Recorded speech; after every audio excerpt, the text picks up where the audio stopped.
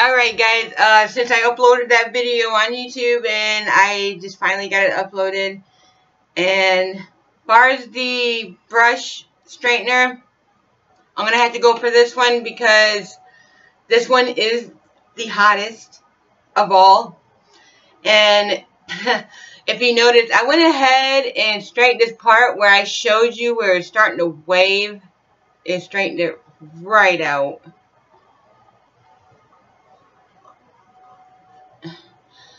Yeah.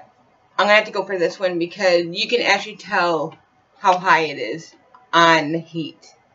So, yeah. Um, I think I'm going to give this one to Andrea in a way. So, maybe she might like it. Maybe she won't. But she does have a hair straightener. It You can use it for wet or dry. But not me. I will not use it on wet hair because I almost think it would burn it really bad when it's wet. So yeah, if you burn it, if you um straighten your hair while it's wet, that's a bad move, everybody. So just a fair warning, don't do it while it's wet.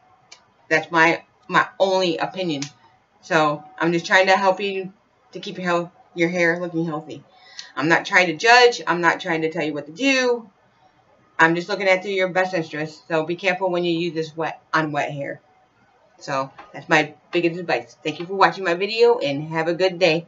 Subscribe, like if you want. It doesn't matter to me. Like I said, I'm just only doing videos and I don't I don't expect to get paid. Like I said, it's not in for the money for me. It's just doing videos for the fun of it. So y'all have a good day and thank you for watching. Bye.